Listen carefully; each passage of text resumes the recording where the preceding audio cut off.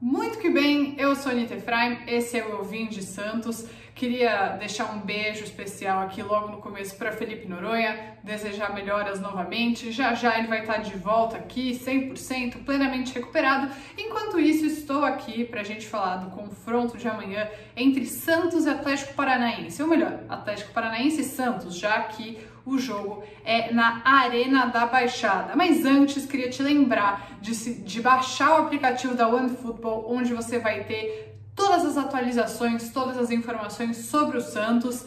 Amanhã, inclusive, sábado, é um dia um pouco mais difícil de assistir esse jogo, mas se você tiver o OneFootball, você vai ficar sabendo de tudo que vai acontecer nessa partida. Bom, o jogo amanhã, sábado, vai ser às 7 horas da noite na Arena da Baixada, lá no estádio do Atlético Paranaense. E o Atlético Paranaense que vem embalado desde a chegada do Felipão, ganhou o último jogo que fez no Campeonato Brasileiro contra o Cuiabá por 1 a 0, mas o Santos apesar de não ter vencido as duas últimas partidas, tem melhorado, tem mostrado progresso. No último jogo até falei da questão do sistema defensivo, mas o Santos tem um grande desafio, especialmente para o sistema defensivo nesse jogo contra o Atlético Paranaense. Não teremos Madison na lateral direita e não teremos Rodrigo Fernandes. Os dois suspensos são os principais desfalques do Santos, além do Ângelo, que ainda não voltou. A expectativa é que ele volte no jogo contra o Inter, mas eu também tô com expectativa todo jogo que ele volte e ele não volta. Então, enfim, um pouco mais difícil. Mas essas são as principais é, questões sobre o Santos. Qual deve ser o time titular do Santos aqui, segundo a Gazeta Esportiva? João Paulo no gol, Auro deve estar na lateral direita, Maicon, Eduardo Bauerman e Lucas Pires. No meio de campo devemos ter Camacho, Zanocelo, Sandri e Johan Julio, Marcos Leonardo e Léo Batistão. Imagino que seja isso, né? Num 4-4-2, porque o Johan Julio a gente já entendeu que vai melhor no meio do que na ponta, não tem por que insistir com ele na ponta, então é, acho que vai acabar sendo um 4-4-2. Apesar de que um 4-3-3 talvez seria mais interessante no ataque,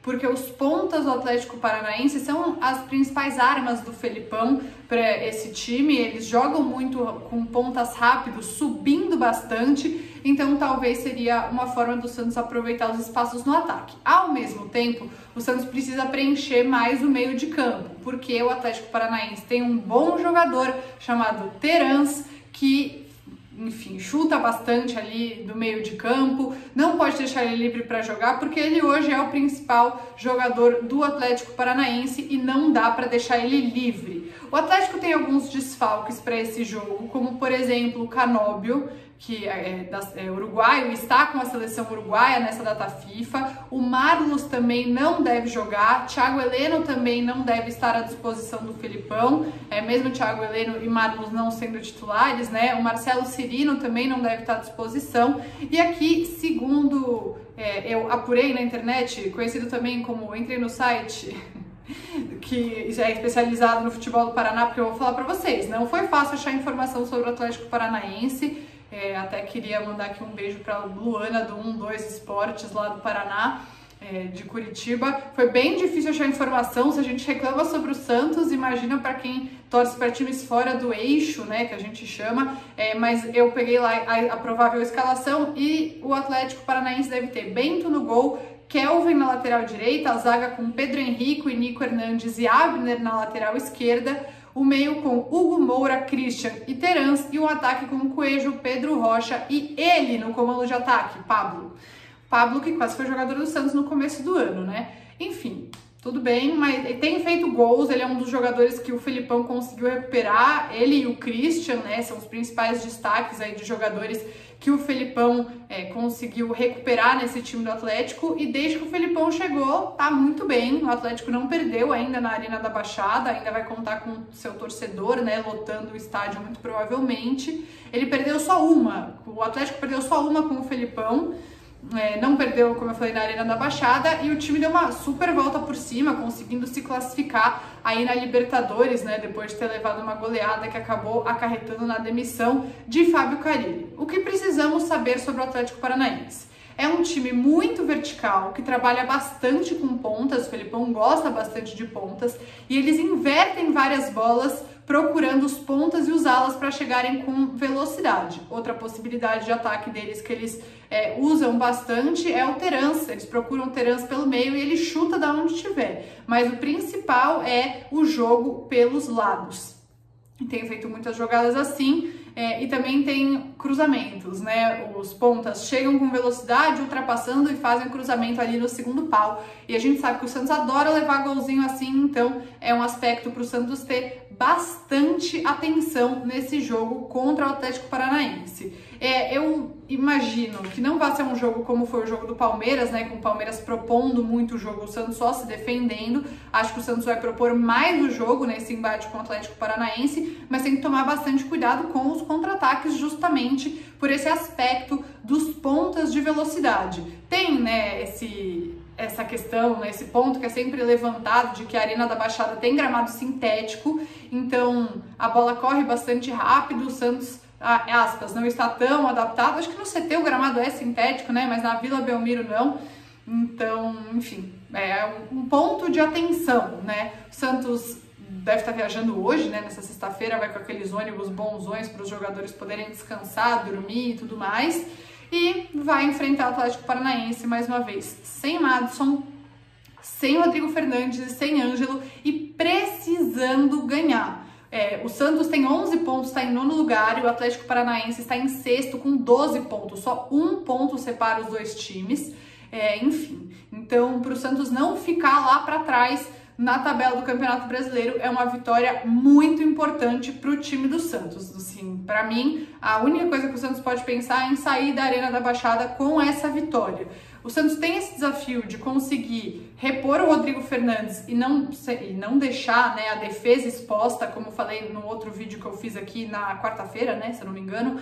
O Santos conseguiu solidificar a sua defesa, especialmente com a bola rolando, né, não com pênalti ou com cruzamento na área, mas é, com a, o outro time de frente para o gol do Santos, com o Rodrigo Fernandes, né, fazendo essa boa proteção da zaga. E agora precisa ver quem é que vai estar no lugar deles, pode ser que seja o Camacho junto com o Sandri para fazer essa proteção do gol do João Paulo, especialmente sabendo que o outro time tem um jogador como Terans é, ameaçando o gol do Santos. E no ataque, o Santos precisa contar com uma boa transição no meio de campo, com uma boa articulação. Acho que seria interessante ver o Bruno Oliveira entrando nesse jogo, porque ele entrou bem nos últimos dois jogos. Eu gostaria de ver ele em campo.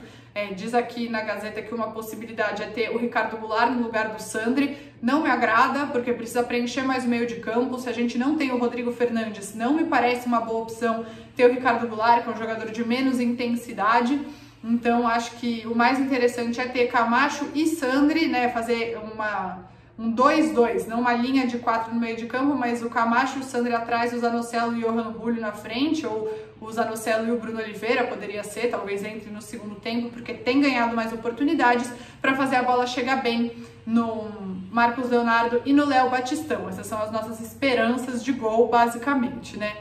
Então, para a gente fechar esse vídeo, amanhã, lembrando a vocês que a transmissão é só na Twitch do Casimiro. Não tem outro lugar, é só na Twitch do Casimiro. Quem é assinante do Prime Video, lá, Amazon Prime, Prime Video, sei lá, mas da Amazon, consegue assistir de graça, tem que vincular sua conta na Twitch e se inscrever, né, fazer o sub lá, e aí você consegue assistir o jogo Vou recomendar um, duas coisas para vocês. Primeiro, um vídeo que a Nájila Luz fez aqui no YouTube, ensinando você a se inscrever lá no canal dele para conseguir assistir esse jogo. Inclusive, se você não tem Prime Video, você tem que pagar um valor, R$6,32, acho.